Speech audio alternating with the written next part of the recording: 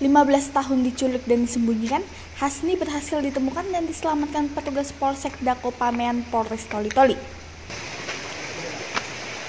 Perempuan tersebut ditemukan polisi di Desa Bajugan, Kecamatan Galang, Kabupaten Toli-Toli, tepatnya di sela-sela batu besar. Informasi yang diterima, korban disembunyikan oleh terlapor bernama Jago, warga Desa Bajugan, Kecamatan Galang, Kabupaten Toli-Toli.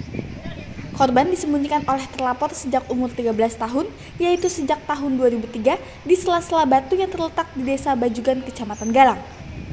Kemudian beberapa hari yang lalu, tersiar kabar dari kakak korban Devi bahwa adiknya yang bernama Hasni disembunyikan oleh terlapor Jago di Desa Bajugan, Kecamatan Galang, Kabupaten Toli-Toli. Berdasarkan informasi tersebut, petugas dari Polsek Dako Pamean melakukan pencarian di rumah terlapor dan korban ditemukan di dalam sela-sela batu oleh petugas. Kapolres Toli-Toli AKBP M. Iqbal ketika dihubungi awak media membenarkan penemuan seorang perempuan yang hilang selama 15 tahun dari 2003. Saat ini TKP sudah dipolis lain dan Satreskrim sedang olah TKP.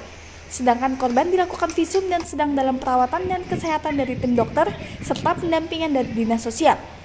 Tersangka atas nama Jago sudah diamankan di Polsek Dako Pamean untuk dilimpahkan penanganan oleh Satreskrim Polres Toli-Toli. Kapolres juga menambahkan pengakuan dari tersangka bahwa korban dijadikan tumbal praktek perdukunan yang tersangka lakukan.